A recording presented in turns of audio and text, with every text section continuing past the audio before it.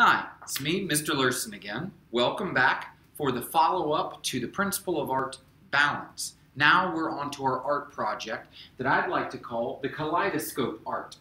Now, uh, an example that I've done so far teaching this in class uh, is with this. Notice how it is symmetrical, both top to bottom and left to right. And these, if you teach it in a class or if you make it yourself or with your friends or family, every single time you do it, it's guaranteed to be unique and original because it is um, an intuitive process. The word intuitive in art means that you are not following a very strict, measured formula. You're following a, uh, a few steps, but cutting and drawing where your gut tells you, so you cannot even do the same uh, work of art twice, even if you tried. All right, so this is um, an example that has not been colored yet, so we're going to get, I'm going to show you how to get your white sheet of paper with a really cool, um, unique design on it. These are the supplies you'll need. One sheet of construction paper.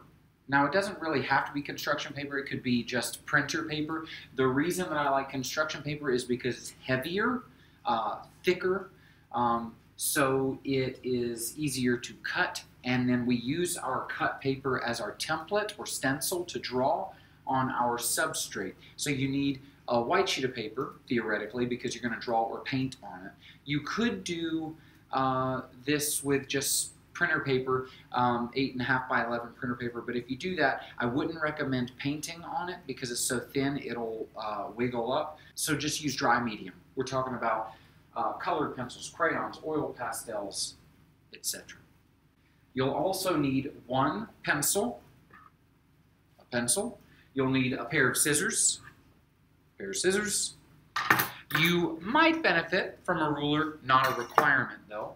Um, and then after we get to this point here, you're going to need a coloring medium.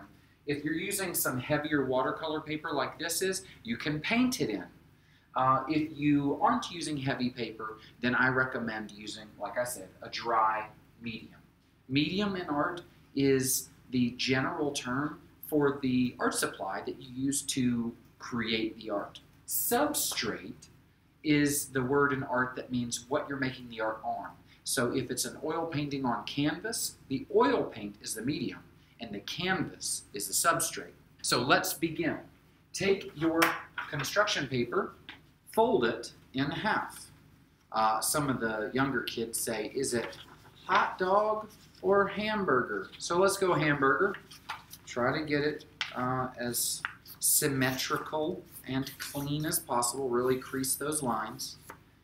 You have it like this a book. Fold it again, hamburger.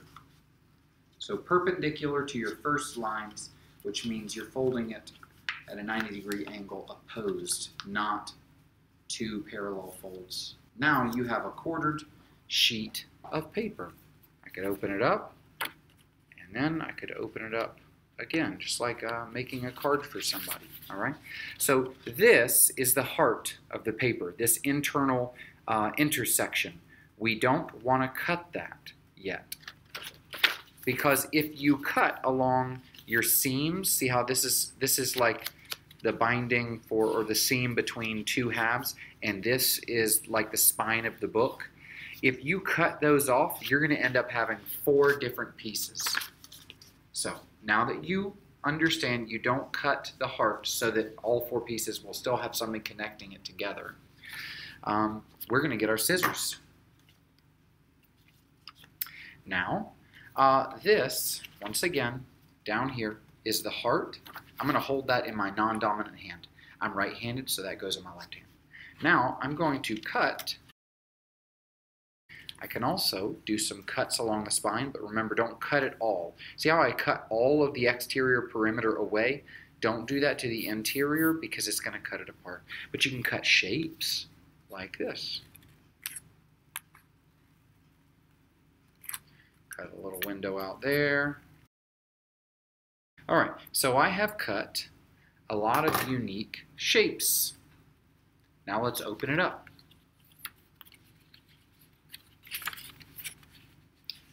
It's kind of cool. Looks kind of like a mask. All right, so this is phase one. Now I'm going to put this on my paper. Um, you should be laying it flat so you don't have to like tape it up or anything.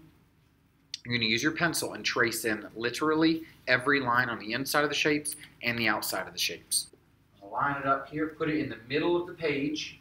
Try to get that evenly spaced in the middle.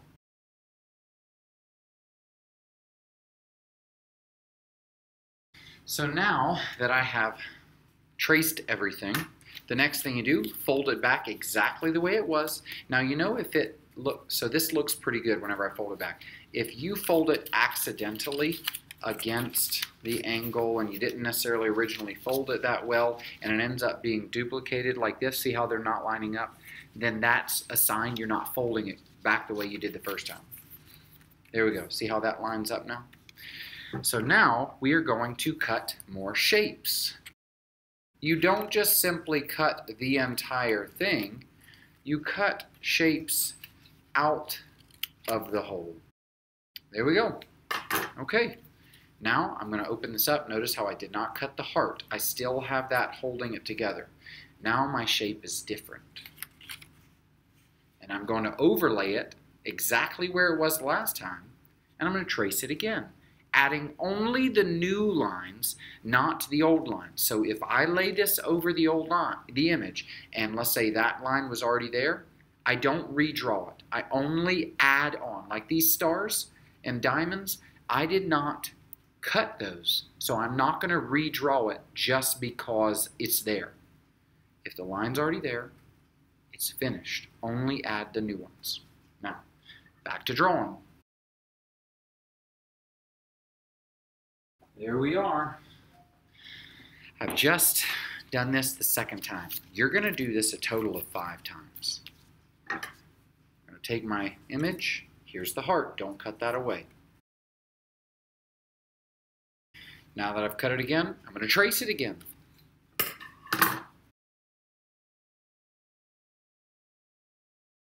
We're getting there. Now, fold it up. I think we've gone three phases. Okay, now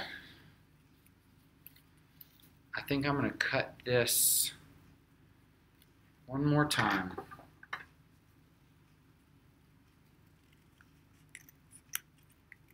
Oh,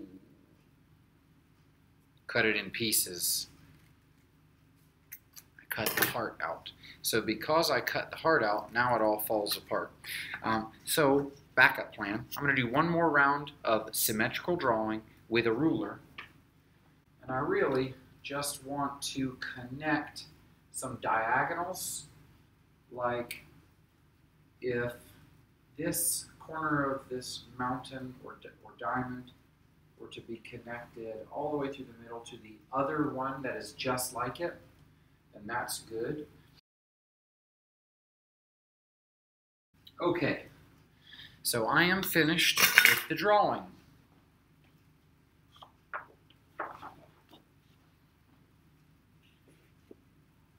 Doesn't really matter which orientation it is at this point. Um, so that's step one, phase one of two phases. Phase one is the drawing, and phase two is the coloring. Let me show you an example of a couple colored pieces. Here's one. This is watercolor on paper. This is another one, colored pencil on paper. Another colored pencil. There we go. That one was colored pencil for the colored part, then black marker for the part that was filled in with black. And then the idea here is that they are cut off of the white paper and then glue sticked onto a larger sheet of black construction. Here's one that's still on the white paper. So you can see they're all different. One last point. To get the, the proper stained glass kaleidoscope effect, I really want you to try, I really want you to try to make your colors symmetrical. So for instance, if this is yellow, if that's red, orange, or orange, the one over there, the left and right needs to be the same color.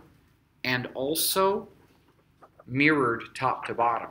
So if you turn it sideways, then the one right here is also the one right there. So it's symmetrical top to bottom and left to right. Yeah. All right. I can't wait to see what you post. Thanks. Bye.